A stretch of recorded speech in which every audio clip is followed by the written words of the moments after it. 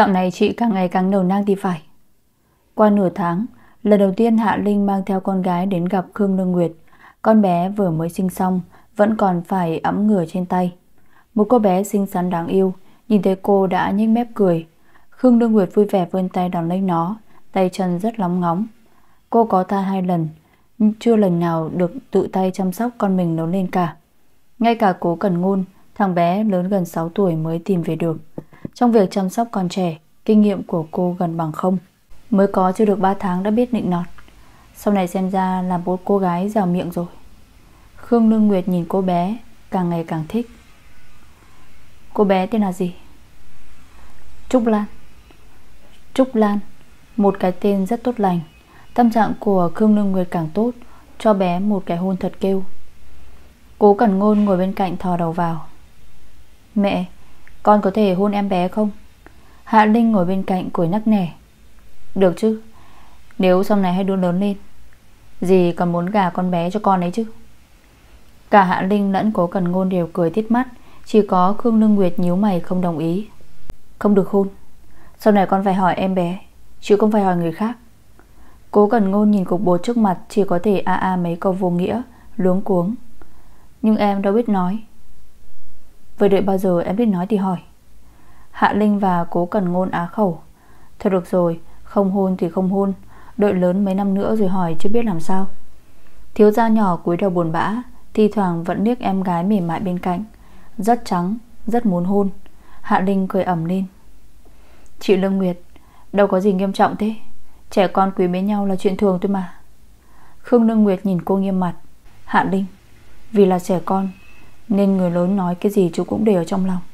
Chị và Phó Tinh Trầm, Năm đó cũng được chỉ hôn từ khi chưa lọt lòng. Hạ Linh ngay lập tức ngậm miệng, Đôi lúc những trò đùa vui của người lớn Lại trở thành niềm tin của những đứa trẻ, Khiến chúng cả đời không thoát ra được. Khương Lương Nguyệt ôm chặt Trúc Lan trên tay, Như nhìn thấy hình ảnh của mình khi còn nhỏ. Tình yêu của các cô gái đẹp như vậy, Phải tự mình tìm hiểu, Tự mình giành lấy, Tại sao phải nghe theo sự sắp xếp của người lớn chứ?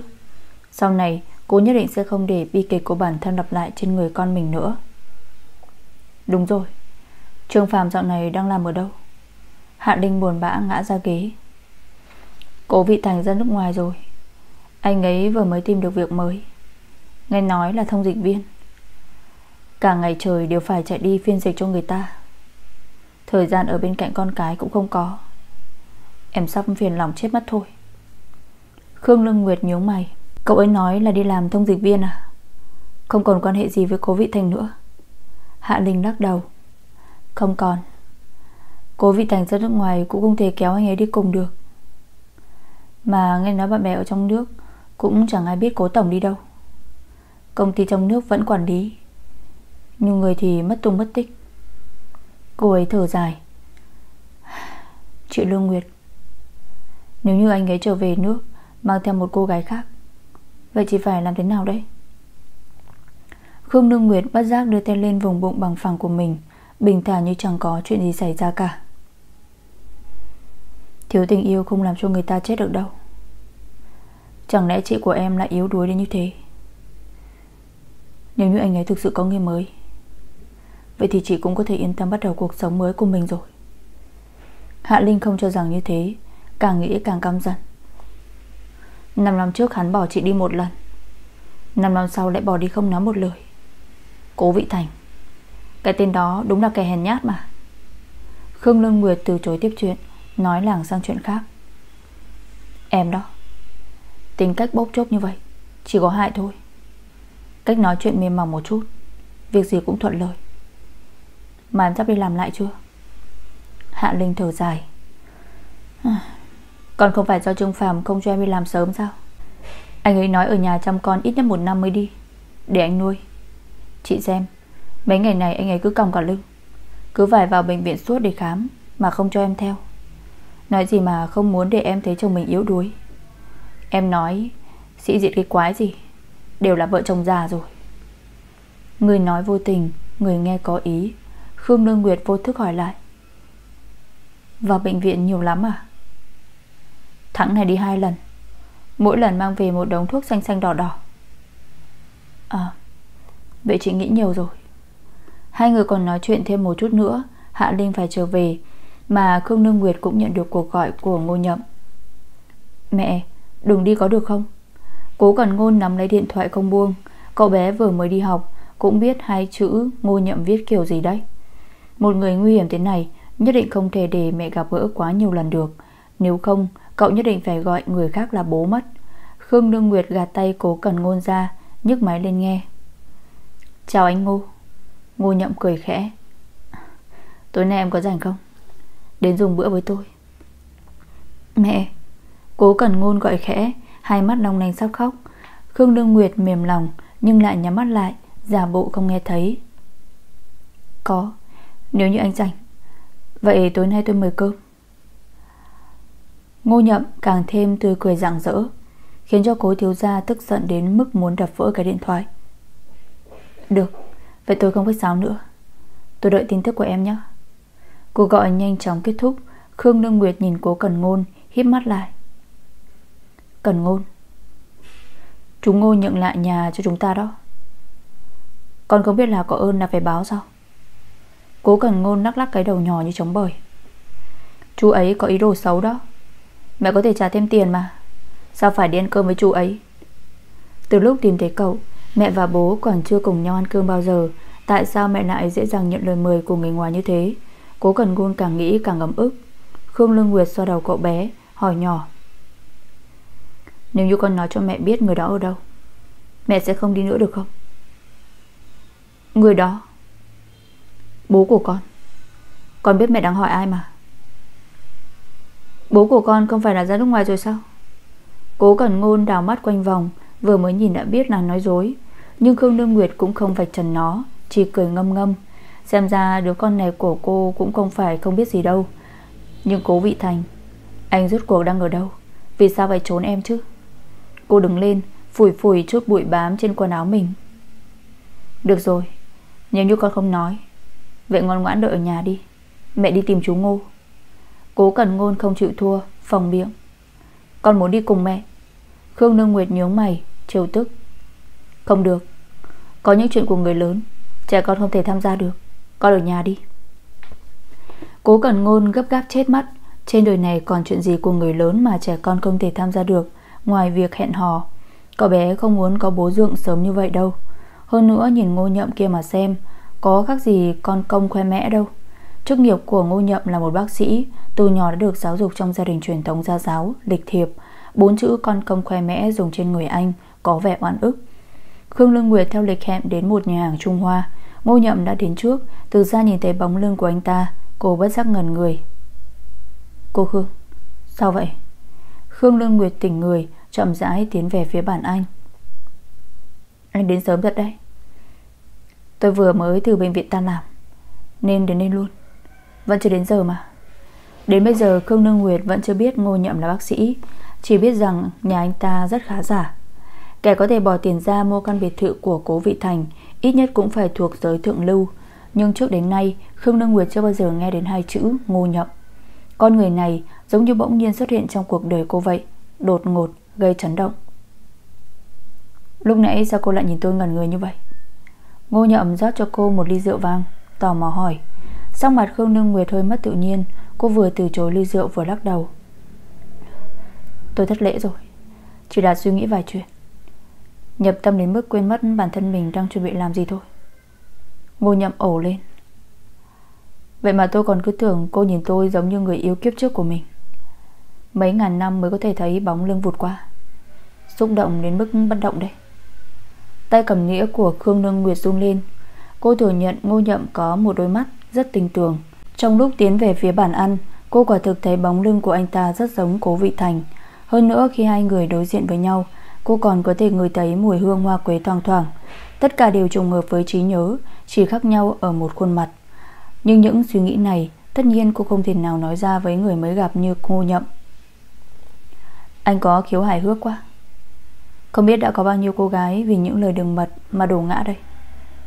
Ngô nhậm trợn trợn mắt như bị vụ oan. Còn giơ tay lên trước mặt mà thề. Tôi thề với cô, Nắm tay bạn các giới tôi cũng chưa từng làm bao giờ. Đừng nói là có người yêu. Cô là cô gái đầu tiên mà tôi hẹn ăn tối đấy. Khương Lương mười thôi khựng lại, Đối phó cho qua. Anh cũng cho tôi thể diện quá rồi. Không khí giữa hai người rất gượng gạo, Nhưng ngô nhậm cũng là kẻ giỏi ăn nói. Hai người lại nhanh chóng tìm được chủ đề mới. Thực ra tôi xem đoạn quảng cáo của cô rồi. Cô lên hình trông rất đẹp.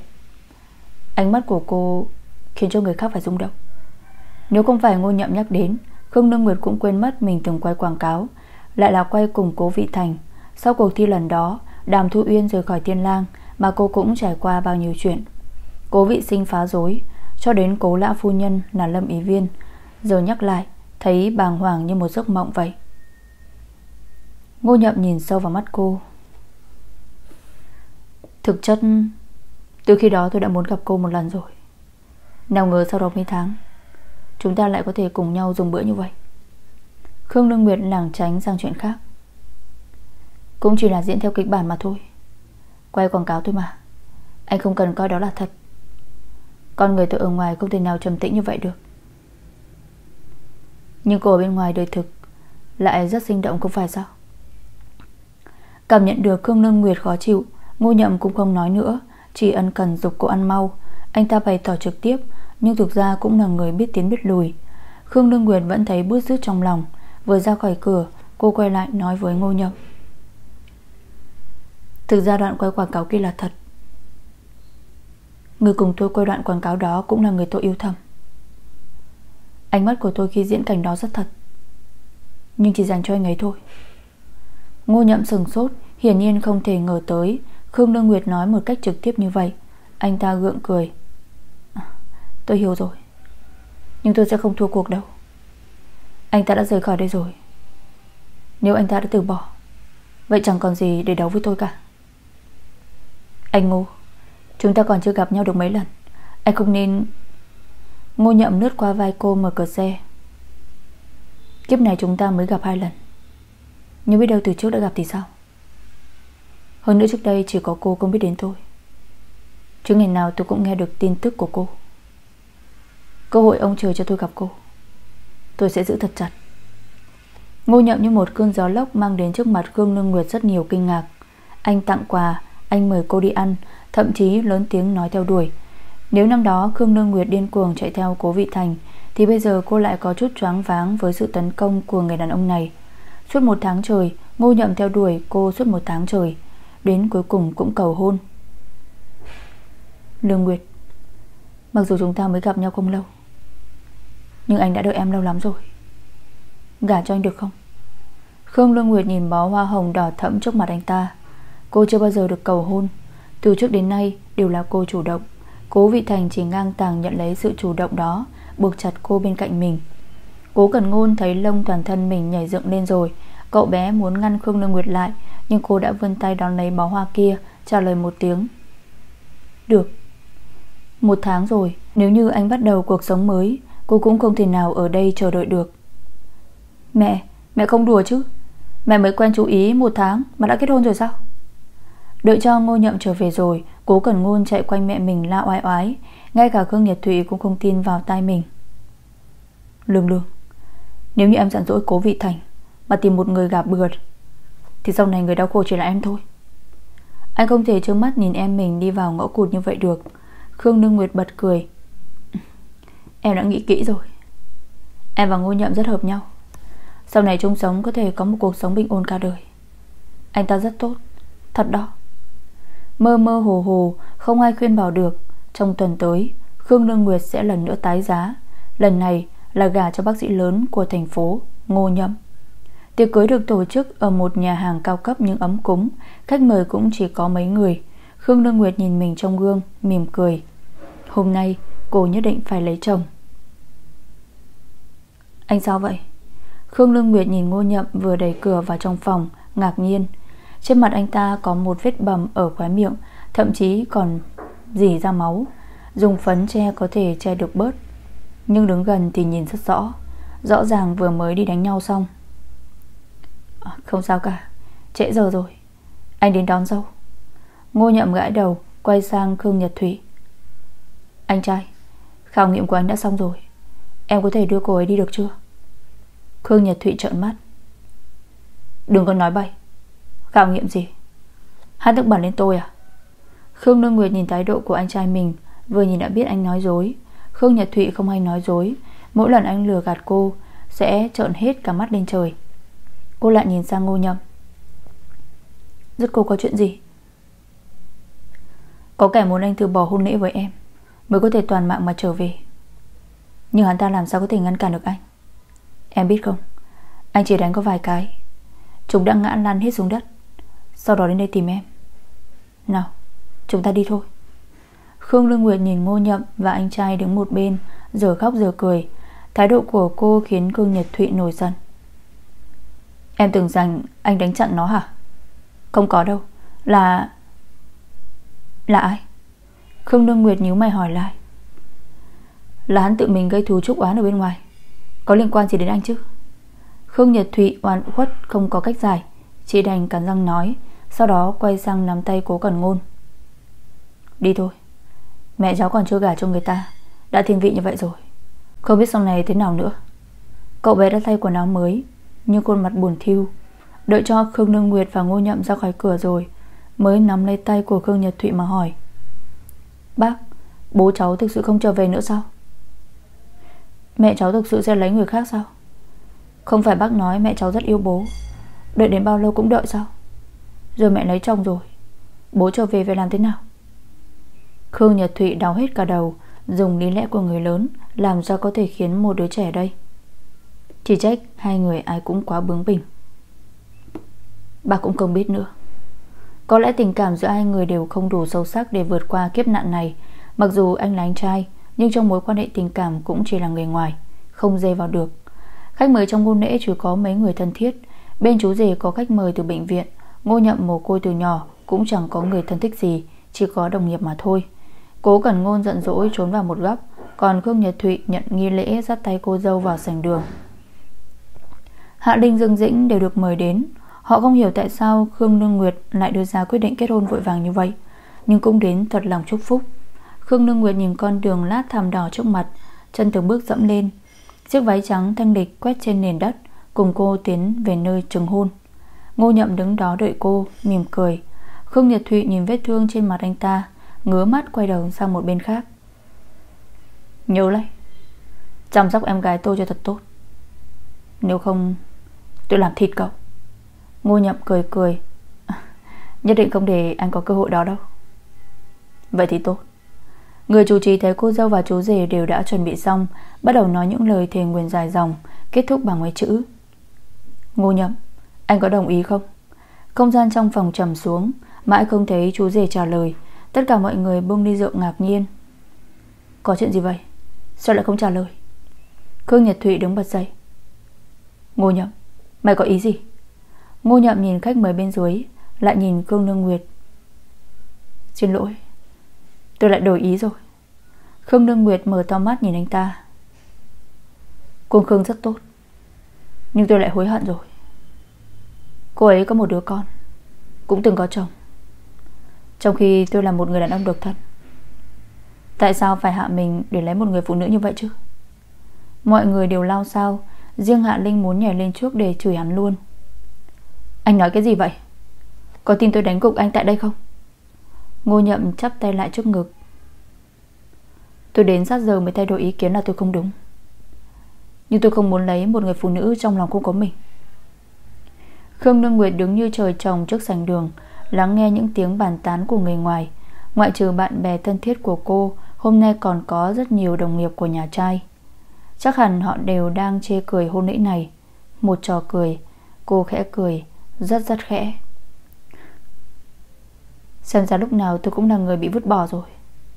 Khương Đương Nguyệt nói xong, Chưa kịp để người khác phản ứng đã chạy vội ra ngoài. Nhanh đến mức cả Khương Nhật Thủy cũng không bắt lại được. Túm lấy hắn xuống, Đánh hắn một trận cho tôi. Có tiếng gầm vang lên từ trong góc phòng. Mọi người đổ dồn tầm mắt vào đấy. Chỉ thấy một người đang khó nhọc, Muốn đẩy xe lăn trèo lên gạch cửa. Một sườn mặt của người đàn ông bị bỏng rộp, Không nhìn rõ sắc thái. Nhưng sự lo lắng trong đôi mắt không che giấu được. Xe lăn bị mắc lại, Khiến cho anh suýt chút nữa thì đổ người xuống. Khốn kiếp. Anh chửi lớn tiếng, Căm thù sự vô dụng hiện tại của bản thân. Trương Phàm từ hàng ghế bên trên, Vội vã đến trước mặt anh, Gọi hai tiếng. Cố Tổng, để tôi. Cố Tổng, Cố Vị Thành. Cố Vị Thành nhìn Trương Phàm, Hai mắt đỏ quạch. Không cần lo cho tôi. Mau giữ Lương Nguyệt lại. Mau đi tìm cô ấy. Mau lên. Cô đang mất kiểm soát như vậy, Nếu như lái xe ra ngoài, Không biết sẽ gặp phải chuyện gì nữa. Cả Khương Nhật Thụy lẫn Trương Phàm đều tỉnh người, quay người muốn đi tìm. Nhưng bước chân của họ vừa ra đến cửa đã khựng lại. Các người còn chờ gì? Cố Vị Thành nắm chặt lấy thành xe lăn, Hận mình không thể mọc cánh để đi tìm cô. Lương Nguyệt, Nếu như em xảy ra chuyện gì Cả đời này anh cũng không có cách nào tha thứ cho mình được. Cố Vị Thành. Anh khiến em tìm anh rất khổ cực đó. Cơn thịnh nộ của cố Vị Thành bị đánh tan, Anh chết chân một chỗ nhìn về phía cửa. Trung Phạm và Khương Nhật Thụy đứng dẹp sang hai bên, Nhường một lối đi ở giữa. Nắng sớm chiếu từ ngoài vào, Như tấm thảm nhiệm màu dài dưới chân Khương Lương Nguyệt. Cô đã thay một bộ áo cưới mới, Lộng lẫy như thiên nga Thân váy đến những hạt cườm óng ánh. Nhưng bên dưới lớp váy đó Cô không đi giày Chân chạy nhanh trên sàn nhà. Cô gấp gáp, nóng vội. Nóng vội bắt lấy người đàn ông bỏ chạy hơn một tháng nay rồi. Giây phút ấy Cố Vị Thành nhìn Ngô Nhậm đang ngồi ở vị trí khách mời Hoàn toàn hiểu ra. Anh cúi đầu lại Tận lực che đi khuôn mặt xấu xí của mình. Anh lúc này quá xấu xí Quá tàn tạ Hoàn toàn không xứng đáng với vẻ đẹp lộng lẫy của cô chút nào cả. Khương Nương Nguyệt đã chạy đến trước mặt cố Vị Thành. Cô ớt ức lên tiếng. Đến bây giờ anh vẫn còn muốn trốn em sao? Anh hít sâu một hơi, Không chịu được âm sắc đau thương của cô. Lương Đường, Tại sao lại phải làm khó mình như vậy? Nếu như anh không có ở đây thì sao? Cô ngồi xuống, Nắm lấy bàn tay của cố vị thành. Ánh mắt co rụt lại khi thấy vị trí khuyết thiếu trên đó. Cô ngước đôi mắt đẫm lệ, Nhìn anh. Anh nói xem. Nếu như anh không về, Sau này anh sẽ đưa con gái của chúng ta vào lễ đường đây. Đứng lên. Cố vị thành run giọng mãi Mới có thể kịp phản ứng lại. Anh nắm lấy tay cô, Để cô ngồi lên chân của mình. Khương Lương Nguyệt vòng tay ôm lấy cổ người đàn ông. Anh gầy đi nhiều, Cũng rất tiểu tụy. Cô đặt tay anh lên bụng mình. Anh nói xem Anh bỏ được mẹ con em sao? Hơi ấm hai người chuyển sang nhau, Bàn tay cố vị thành đặt trên bụng cô, Chỉ dám chạm khẽ. Anh luống cuống. Là công chúa nhỏ sao? Là con gái. Sau này anh và Cần Ngôn đều sẽ bảo vệ cho con bé. Cố Cần Ngôn đã đến đứng bên cạnh bố mẹ mình từ bao giờ, Mở to mắt nhìn vào nơi có em bé. Con đã nói rồi mà, Mẹ sẽ sinh em gái. Cậu bé đã phồng hết cả mũi lên rồi Bố đã trở về. Con công khoe mẹ kia không được làm cha dượng của cậu nữa. Cố vị thành xúc động đến mức cơ mặt cứng đờ. Một bên mặt anh bị bỏng trông rất đáng sợ, Nhưng Khương Đương Nguyệt lại thấy rất đẹp. Người đàn ông này chưa từng giữ gìn lại cho riêng mình, Anh cho cô tất cả, Kể cả tính mạng. Khương Đương Nguyệt không biết trong trận lửa kia đã xảy ra những chuyện gì, Nhưng cô biết anh đã phải rất liều mạng Mới có thể cứu mình ra. Một người chồng như thế, Cô làm sao có thể ghét bỏ đây? Khương Lương Nguyệt ôm lấy cổ anh, Khóc lên. Anh bỏ được mẹ con em sao? Câu hỏi này, cô ép buộc anh phải trả lời, Cũng phải trả lời theo ý cô muốn. Cố vị thành cảm nhận được người Khương Lương Nguyệt run lên, Chậm rãi nói hai chữ. Không được. Cả đời này đều không có cách nào bỏ được. Lúc nãy khi cô cùng ngô nhậm tiến vào lễ đường, Cố vị thành từng nghĩ mình sẽ xông lên, Kéo người kia xuống thay vào vị trí đó. Nhưng anh nhìn cô cười rất hạnh phúc. Ngô nhậm cũng là người tài giỏi, Còn anh chỉ là một kẻ tàn phế. Cố vị thành nghĩ lại, Thôi vậy, Tốt nhất không nên chậm trễ cô nữa, Hai người đến cuối cùng Cũng chỉ là có duyên không phận. Nhưng bây giờ Khương Nương Nguyệt lại ôm lấy anh mà hỏi rằng, Anh có nỡ bỏ lại cô không? Tất nhiên cố vị thành không nỡ. Cô là ánh trăng đẹp nhất trong lòng của anh Hơn 10 năm qua, Là mạng của anh mà. Đường Nguyệt, Em thật là, Đến lúc này làm sao cố vị thành không rõ Tất cả những thứ này chỉ là màn kịch của cô mà thôi. Cô biết anh sẽ muốn nhìn thấy mình lần cuối, Nên sẽ đến dự lễ cưới. Mà cô bị bỏ rơi làm nhục trước mặt người khác như vậy, Anh làm sao có thể không lộ mặt? Khương Đương Nguyệt dạy cho cố vị thành một bài học, Để cho anh biết cô cần anh thế nào, Mà anh cũng cần cô đến thế nào. Chúc hai người trăm năm hạnh phúc.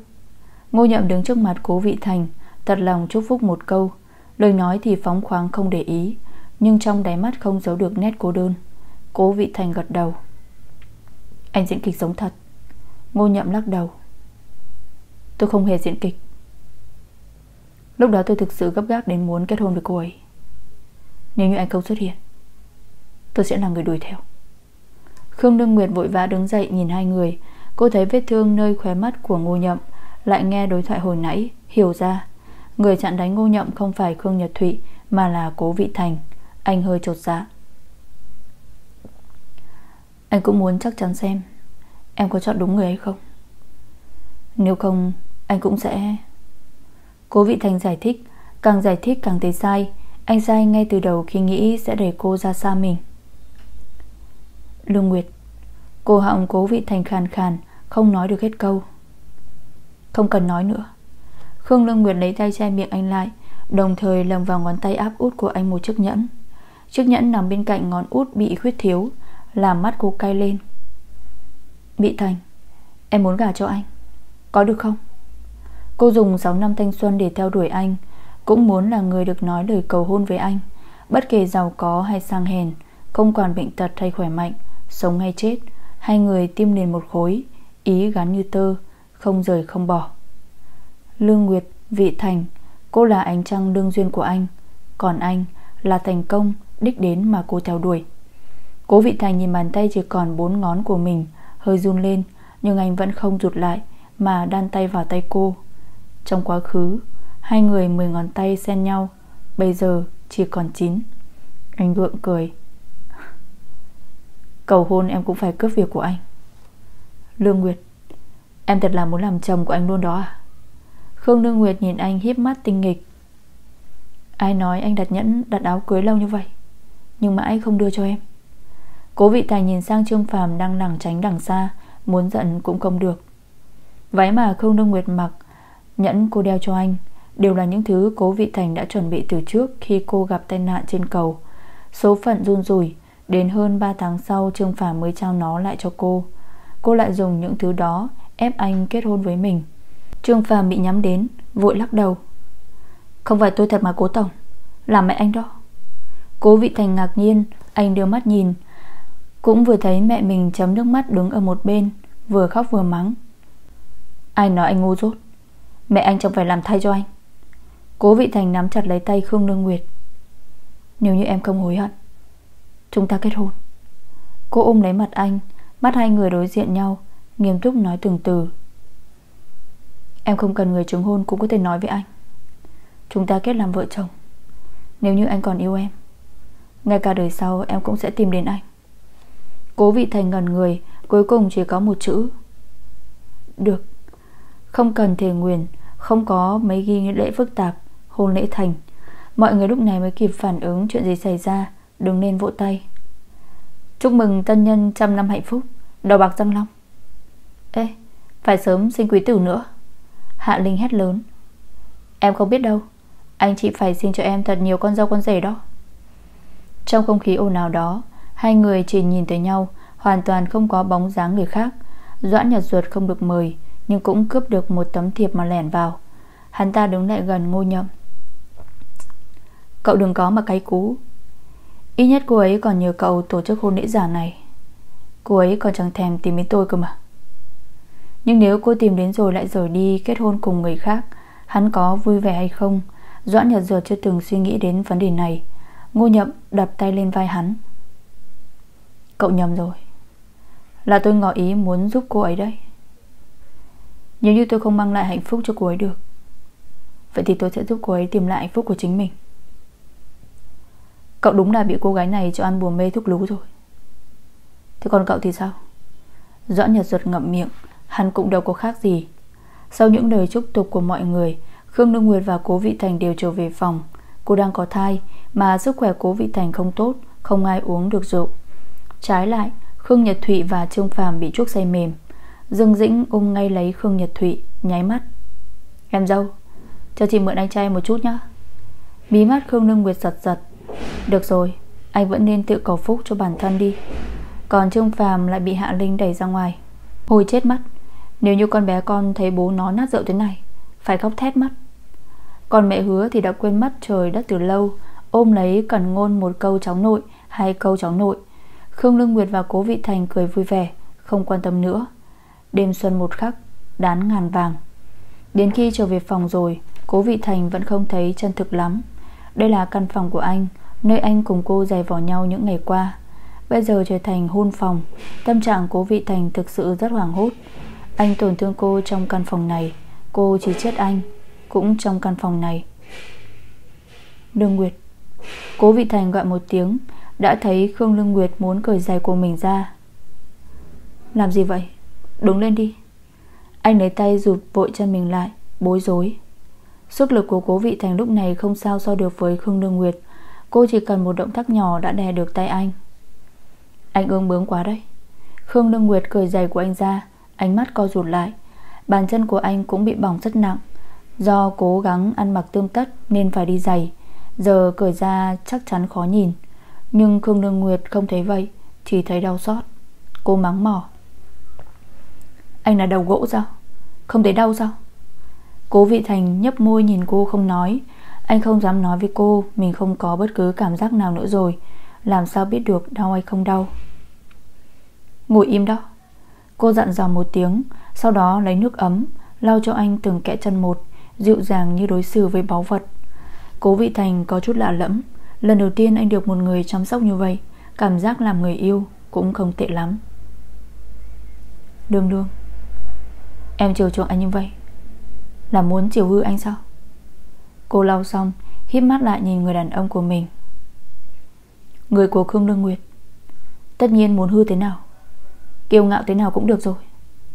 Câu nói của cô khiến hầu kết anh chuyển động. Người của Khương nương Nguyệt, Cách nói này rất thân thiết gần gũi Mà cũng rất mập mờ.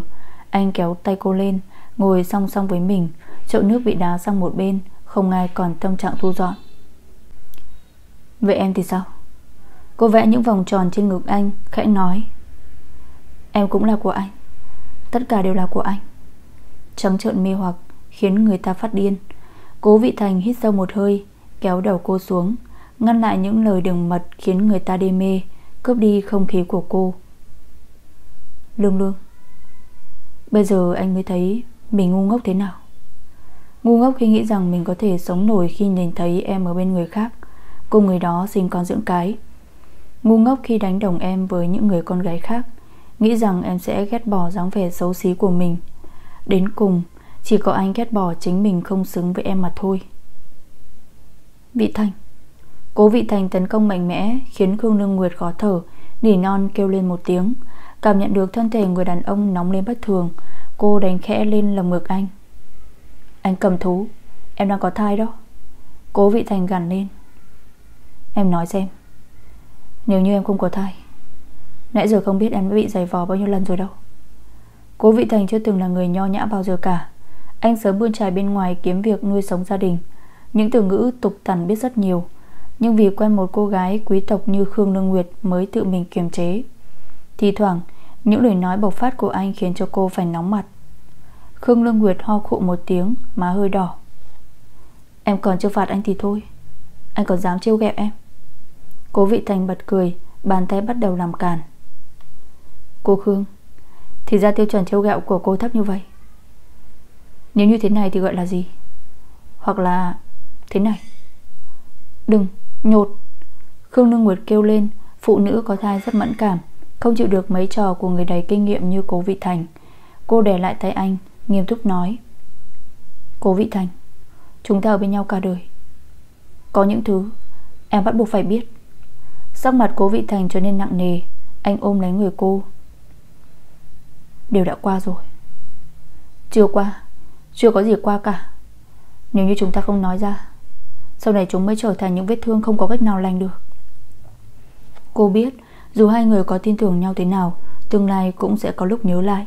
Cô không muốn cả hai người đều sống trong hiểu lầm, Không biết được sự thật, Mê mang không lối thoát. Thà rằng sự thật vạch trần, Dù cho máu chảy đầm đìa, Cũng mười mười đen trắng rõ ràng. Cô nhìn sâu vào trong mắt anh, Hỏi câu hỏi mà mình muốn biết lâu lắm rồi. Tại sao hôm đó không đến chỗ hẹn gặp em? Em đã chờ anh cả đêm Cố Vị Thành mở to mắt, Nhớ lại một đêm đầy mưa gió Và nhục nhã đó. Hôm đó, Bố em cho người đến tìm anh. Không phải sao? Khương Lương Nguyệt nhắm mắt lại, Bố và người đàn ông cô yêu thương nhất. Người đã nói cầm lấy số tiền này Và chữa trị bệnh cho mẹ anh đi. Sau đó rời khỏi con gái của thị trường. Anh chỉ cười cười, Nhận nó rồi ném ra ngoài đường. Cô vẫn lắng tai nghe, Trong đầu sắp xếp lại trí nhớ 5 năm trước. Ông ấy đưa cho em xem đoạn phim Anh nhận tiền rồi quay đi. Em không tin, Gọi điện cho anh. Nhưng anh nói Nói rằng chúng ta không nên tiếp tục nữa. Nói rằng tình cảm này ngay từ đầu đã là sai lầm rồi. Cô càng nhớ lại càng khó thở. Đúng là có những vết thương không nên vạch lại lần nữa đâu. Cố Vị Thành nắm lấy tay cô Cả người run lên. Anh xin lỗi. Anh hiểu lầm. Anh đáng chết. Cũng trong cùng ngày đó, Cố Vị Thành nhận được một đoạn ghi âm. Giọng nói của cô gái đó, Anh nghe lẫn trong vạn loại âm thanh Cũng có thể nhận ra. Khương Lương Nguyệt nói cùng mọi người. Cố Vị Thành chỉ là thú vui của tớ mà thôi. Nhìn anh ta kiêu ngạo kìa. Để tớ xem anh ta có thể kiêu ngạo thế nào. 28 chữ xé rách hy vọng của cố Vị Thành. Làm cho trái tim lần đầu tiên biết yêu của anh bị rách thành ngàn mảnh. Anh đã rút lui khỏi suất học bổng du học để lại cùng cô. Anh đã từ bỏ cơ hội lập nghiệp vì cô sợ hãi ở lại một mình. Cố Vị Thành tưởng rằng khi mình báo tin này cho Khương Nương Nguyệt, Cô sẽ rất vui vẻ. Nào ngờ trước đó anh lại nhận được một đoạn ghi âm, Nói anh chỉ là trò đùa của cô mà thôi. Nhà ở Khương đâm thêm một dao, Mang tiền đến xì nhục đuổi anh đi. Cố vị thành tuyệt vọng. Thêm vào đó Mẹ hứa bị người âm thầm làm có không cho phẫu thuật. Nếu không có bác sĩ Lương trái lời bệnh viện ra tay, Sẽ chết trên giường bệnh. Cố vị thành hận. Lúc đó anh không dám gặp em. Sợ rằng khi gặp em, sẽ không kiềm chế được mà tổn thương em mất. Khương Đương Nguyệt ôm lấy người cố vị thành. Cô thật không thể ngờ, Người đàn ông của mình đã trải qua những chuyện như vậy. Anh đã xé bỏ giấy trúng tuyển của mình Muốn lưu lại bên cô để rồi sau đó khi đi học, Anh phải chắt chiêu từng đồng một, Phơi lưng cào tuyết giữa trời đông lạnh giá, Chỉ để kiếm được vài đồng tiền ăn Và tiền chữa trị cho mẹ. Lúc đó, anh tuyệt vọng đến mức nào, Nghĩ rằng người yêu phản bội, Bị sỉ nhục, Đuổi cùng giết tuyệt. Làm sao có thể không hận? Nhưng cô không thể quy kết tội này lên người bố mình, Cũng không thể để anh hiểu lầm ông được. Bố em không làm như thế. Một người như ông, Không tham phục vụ bẩn. Làm sao có thể làm những chuyện táng tận lưng theo như vậy được?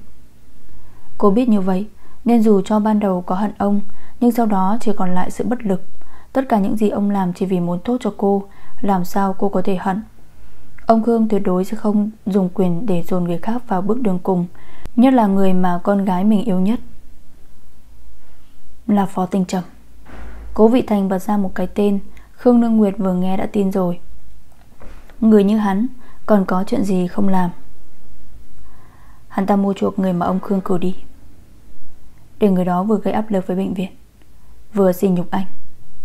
Đoạn phim bị cắt ghép, Cho nên em hận anh cũng phải. Có cô gái nào chịu được người mình yêu nhất Nhận tiền để kết thúc mối quan hệ giữa hai người chứ? Đây không chỉ là lừa dối, Mà là phản bội lòng tin. Trong lúc anh mơ hồ không biết, Khương Lương Nguyệt cũng phải trải qua nỗi đau không kém gì anh. Hai người, Vì lẽ đó Mà bỏ lỡ tới 5 năm.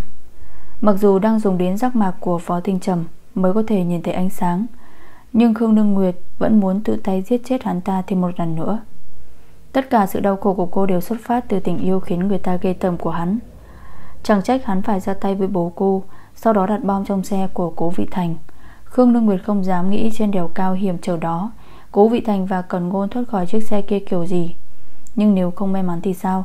Đến lúc ấy Cô lại phải trơ mắt đứng nhìn mình mất đi Hai người thân rồi. Sau đó thì sao? Khương Đương Nguyệt tự người vào trong lồng ngực anh. Không biết có phải vì thiếu máu hay không, Người anh hơi lạnh, Không còn ấm áp như ngày trước. Nhưng nếu như vậy, Cô có thể trở thành người sưởi ấm cho anh. Vị trí của hai người thay đổi, Cô dùng sự ấm áp mềm mại của mình Bảo vệ cho trái tim chịu nhiều thương tổn của anh.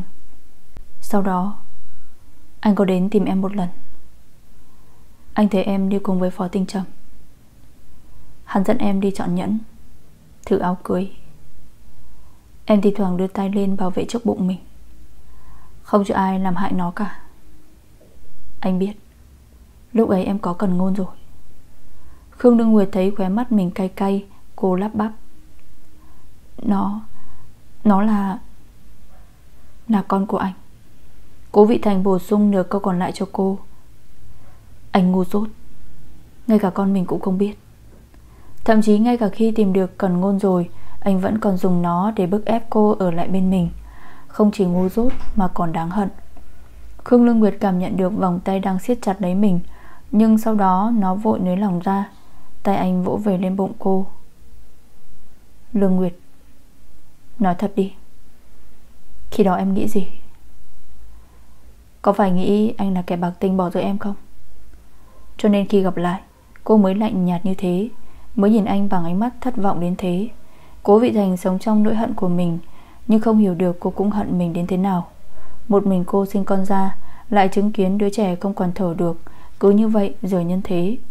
Có lẽ lúc ấy cô rất tuyệt vọng. Mà người cùng cô tạo nên sinh mệnh bé nhỏ đó lại không biết, Vẫn đang ôm nỗi hận với cô. Cố vị thành thấy mình có thể điên lên được. Khương Lương Nguyệt ử khẽ Lúc nhìn thấy cần ngôn không còn. Em từng muốn đi ra nước ngoài. Giết chết anh. Đúng, Anh đáng chết.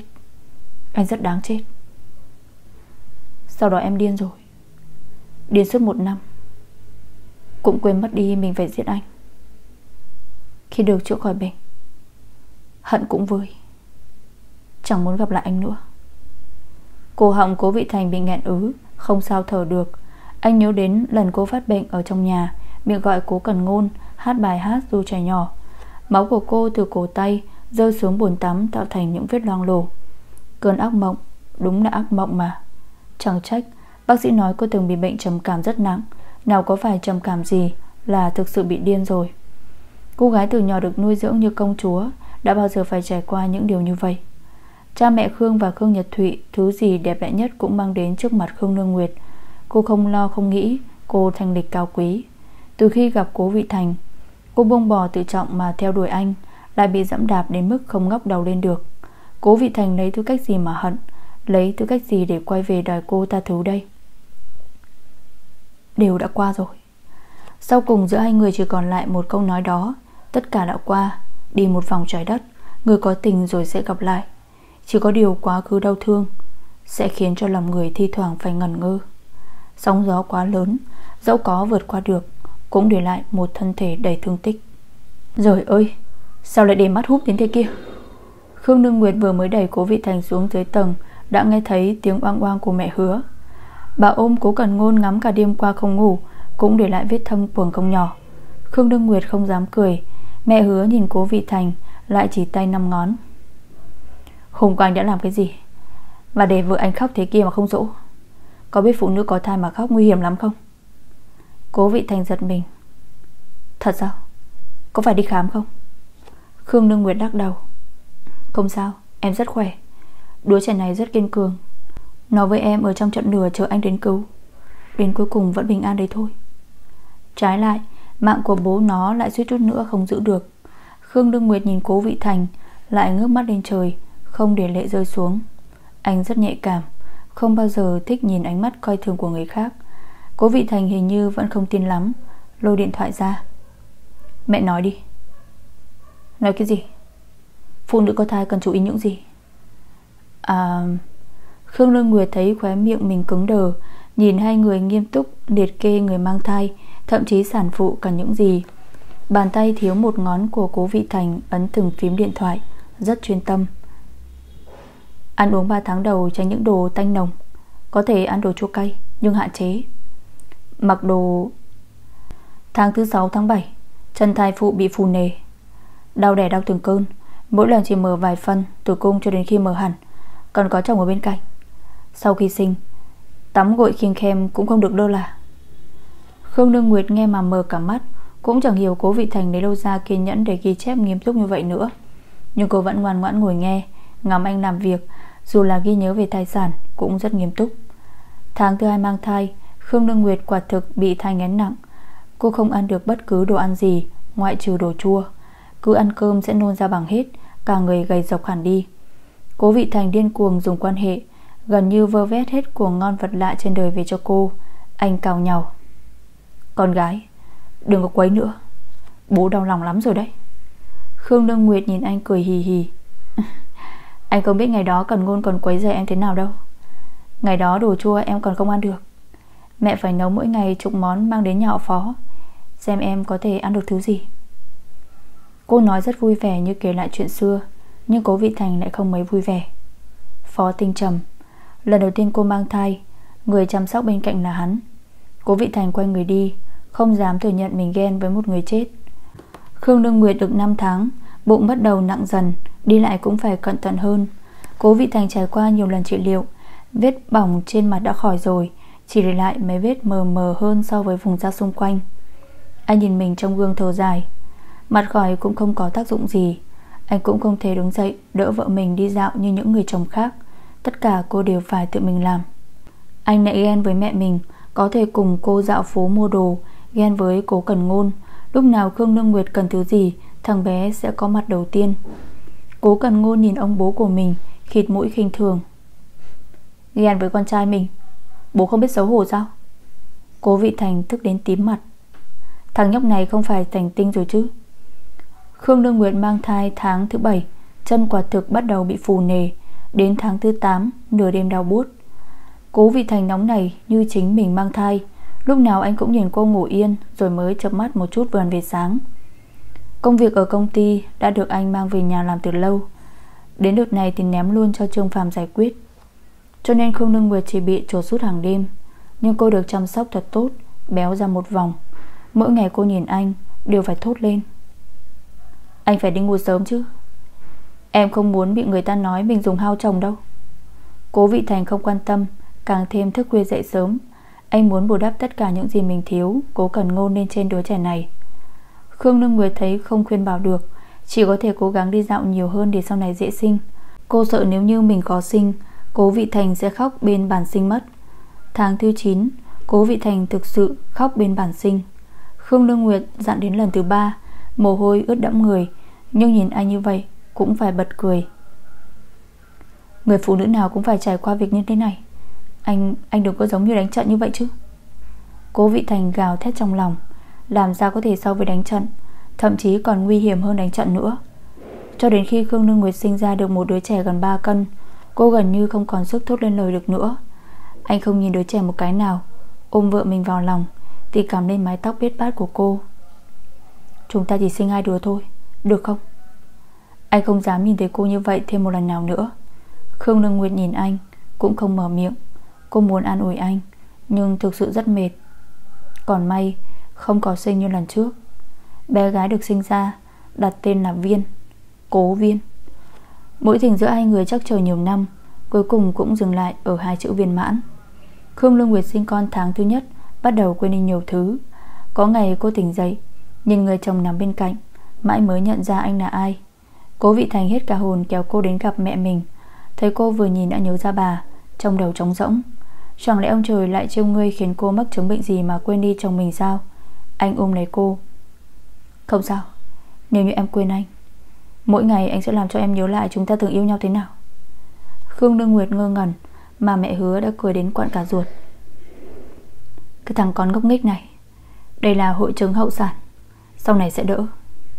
Sinh con mà quên luôn chồng, Có ông chồng nào dám để cho vợ sinh? Cố vị thành ngượng chín mặt, Càng thêm đau lòng.